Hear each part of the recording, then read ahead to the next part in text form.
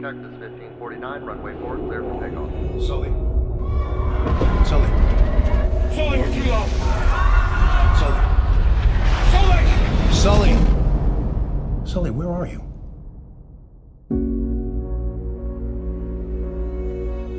No one warned us. No one said you were going to lose both engines at a lower altitude than any jet in history. This was dual engine loss at 2,800 feet, followed by an immediate water landing with one soul on board. No one has ever trained for an incident like that.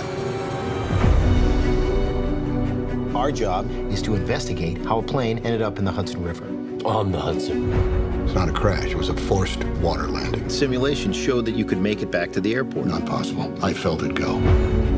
My aircraft. Your aircraft. I want you to know I did the best I could. Of course you did. You saved everyone. People call you a hero. I don't feel like a hero. Show us your cake, Super Sully! There's been too much talk in the press already. I'm overwhelmed by all this attention. The left engine was still operating. What if I did get this wrong? What if I endangered the lives of all those passengers? I got an A320 diving for the river. You did everything you could. It was more than enough. When was your last drink, Captain Sullenberger? Have you had any troubles at home? This is the captain. Brace for impact. Brace! Brace! Over 40 years in the air, but in the end, I'm going to be judged on 208 seconds.